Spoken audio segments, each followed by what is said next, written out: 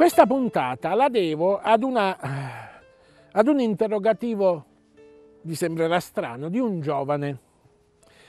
Vi sembra strano non perché è un giovane, ma per la domanda che mi ha fatto e che ho incontrato di recente in una delle missioni che ho predicato. Questo giovane mi ha detto, ma come io da giovane come pretendi, avevamo parlato della morte, come pretendi che io da giovane pensi alla morte, se ho tutta una vita davanti a me? Beh, eh, Maurizio così si chiama, Maurizio non è che aveva torto a farmi questa domanda e mi ha messo anche in difficoltà e poi abbiamo un po' ragionato insieme. E eh, lui eh, alla fine mi ha dato lui stesso la risposta dicendomi è vero che sono giovane ed è difficile pensare alla morte, ma mia nonna, mi ha detto, mi dice sempre che lei si è sempre preparata ogni giorno, ogni giorno della sua vita a morire. Non perché voleva morire bene, ma perché voleva, ecco, morire bene, non soltanto questo, chiedo scusa, ma perché il pensiero di vivere ogni giorno, guardando all'ultimo minuto, ti aiuta a vivere bene ogni attimo presente. Cioè Maurizio ha voluto dirmi con l'esperienza della nonna che vivere l'attimo presente, vivere il presente bene, ci aiuta a vivere anche l'ultimo attimo della nostra vita. Ed è questa una grande verità. Una grande verità che poi ho ritrovato sempre nelle parole di un grande Papa, Paolo VI, nel suo testamento. Sentite che cosa dice.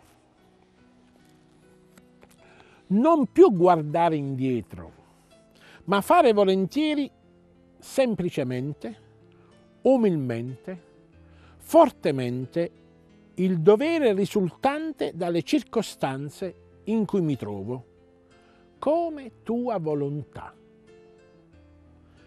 In ogni situazione di vita del presente io devo saper leggere, restare lì e leggere la volontà di Dio. E farlo presto, dice Paolo VI, fare tutto e fare, bre- e fare bene, presto, tutto e bene fare lietamente, quindi non basta soltanto fare, vivere la propria vita eh, facendo le cose presto, fare tutto e farle bene, ma farle con gioia. Ciò che ora tu vuoi da me, dice Paolo VI pregando il Signore, anche se supera immensamente le mie forze e se mi chiede la vita, finalmente a quest'ultima ora.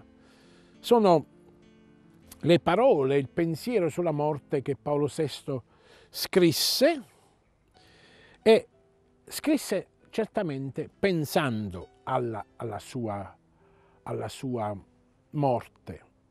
E il cardinale Van Tuan, che ci sta accompagnando in questo tempo, commentando proprio queste parole di Paolo VI, dice ciascuna parola, ciascun gesto, ciascuna telefonata, ciascuna decisione devono essere la cosa più bella della nostra vita.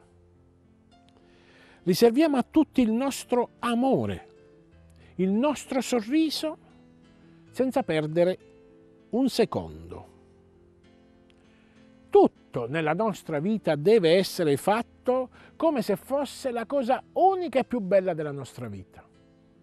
Ma guardate, qui non dobbiamo fare eh, troppa filosofia o troppa teologia, ma basta vedere le nostre mamme, le nostre nonne, quando anche se preparano un piatto di spaghetti aglio e olio, loro lo fanno con un sorriso e una gioia unica.